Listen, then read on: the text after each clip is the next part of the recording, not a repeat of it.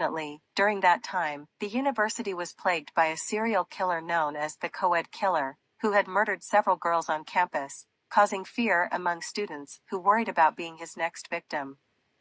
The media extensively covered his actions, adding to the natural concerns of Betsy's parents. However, they breathed a sigh of relief when their daughter informed them that she had decided to transfer to another university. That university turned out to be Pennsylvania State University.